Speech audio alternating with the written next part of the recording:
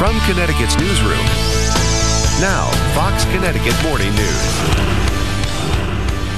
Here we go. Get ready. Take a look at this on efile.com. There's a running countdown to when your taxes are due. It's hard to see, but they've got five days, about 14 hours and counting for procrastinators to sit down and file or hire somebody to take care of it. I'm counting seven days. If you count today and Tuesday as a full day, you've really got seven. But nevertheless, tax day 2012 is fast approaching. And here in Connecticut, it is Tuesday, April 17th. You got till midnight on Tuesday. So if you don't want to spend your entire weekend trying to figure it all out, we've got Paul Lupo is here with this uh, with some uh, tips for us. He is with uh, Lupo and Associates. So Paul, good to see you. Thanks so much for coming on the program. You're good having morning. a busy week. We appreciate you taking some time out. What what should people know about when they're filing their taxes? What if somebody has never filed their taxes before and they're pretty nervous about it? Well, if you never filed your taxes before, I would definitely suggest hiring a professional because there are so many different variables involved. To try to learn the tax codes overnight would basically be impossible. Yeah, and you don't know which form you're supposed to do and how you should file, right? I mean, there's all kinds Correct. of questions and things. Yes. What are some of the the problems you see that occur more and more often when, when with filers? Um, one of the biggest things I see is that they take the wrong number of exemptions. For example, they had a child that graduated college and person's working full time, so they'll take their um, they'll take the child as a dependent, and really the child's already taken themselves as one. So that'll always trigger a uh, problem there. Uh, talk about um, you've got to choose whether you're uh, had a household or you know there's all these different choices married filing filing you know jointly talk about those and, and what you need to do with respect to that Well, you don't really get to choose. It kind of chooses yourself. I mean, if you're single, it's obvious. You can't say, I'm going to claim Fluffy, my cat, as a dependent so I can be head of household. Right. So it's pretty much, you know, if you're married, you have to file joint with very few exceptions. Head of household would be a single parent that's claiming the child. And otherwise, for the rest of the people who are single, you're filing single. there's an easy form that is supposed to be easy and then there's kind of more of a complicated one where if you really want to take a lot of uh, deductions and things how would you decide which one of those is best Usually, easy filers just have their W 2, so they've worked for one or two employers for the year, and that would qualify them for it.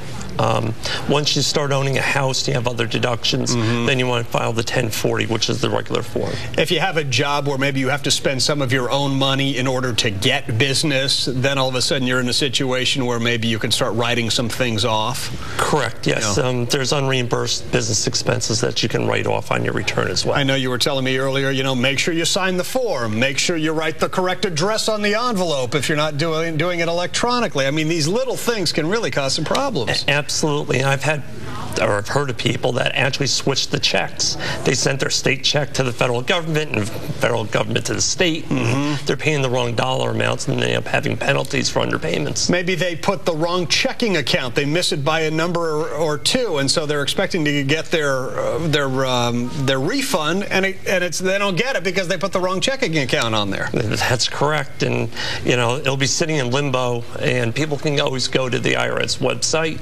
uh, www.irs.gov, and click on Where's My Refund?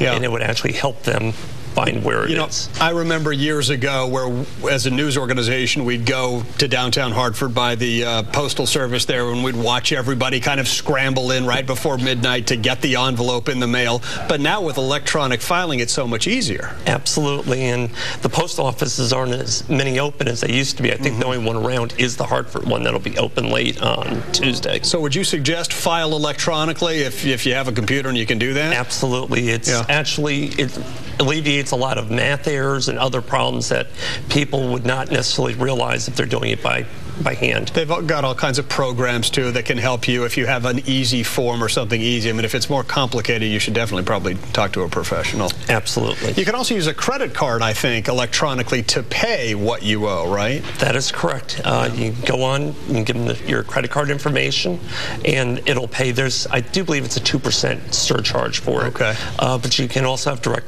withdrawal out of your checking or savings account, and use a debit card.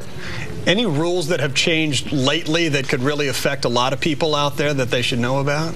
Um, nothing of over any great um, change, but what I would recommend for people to actually do is if you're not able to pay your for whatever you owe or file the return or at least file an extension and make a payment with it um, because that'll just alleviate underpayment penalties and other uh, issues. Just send something in? If you owe money, definitely send something in and definitely send the return in on time. Okay. All right. Paul Lupo, Lupo Associates. Thank you, Paul. Thank you very much. Appreciate that. All right. So.